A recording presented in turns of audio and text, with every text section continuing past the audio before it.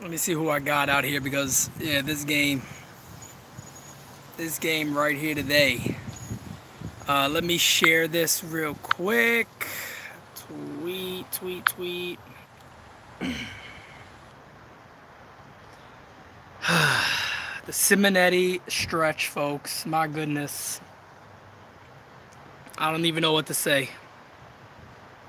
I don't even know what to say. Gary Sanchez looks like trash. The team looks horrible. That's what everybody's wondering. How are we not winning?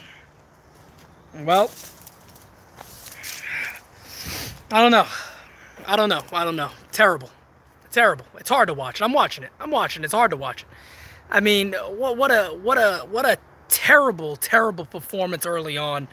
Happ, let alone Happ. Forget Happ my goodness, Brett Gardner worked a good walk. Judge does good, gets the single.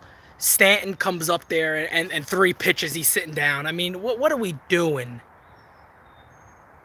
I get it, it's the first series, but but look, Mr. Webster there. You cannot lose series against the Baltimore Orioles. This is how you end up losing the division by two or three games. You cannot lose a series to the Orioles. You just can't. Can't. Can't do it cannot lose series to the Orioles. So the Yankees got to get it going now, come back and win this game because you can't do what they're doing right now. You just can't. You do not lose a series at home to the Baltimore Orioles. You just can't. These are the teams you have to defeat. You got to capitalize on these guys. Well, we find out Boone's not even managing the team. So at the end of the day, you got 24 nerds managing the club. So I don't even know.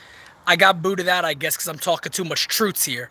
But let's hope the last three at bats here, the Yankees can get it going, can win some games, and, and, these 24 nerds get locked in a room somewhere. We get a real lineup on this team, and these guys start hitting. Gary Sanchez is like trash. I'm going to be on Gary Sanchez again like I was last year. He looks horrible. He looks terrible. He looks terrible. Brett Gardner shouldn't be leading off. I agree. No doubt about it. DJ LeMahieu looks good. Gleyber Torres looks good. Miguel Andujar looks like trash too. Uh, let's get going. I'm, I'm holding back the judgments and the rants and the screaming. Let's get going. We'll see what happens. Hopefully, the Yankees win this game. I'll chat with you guys again soon.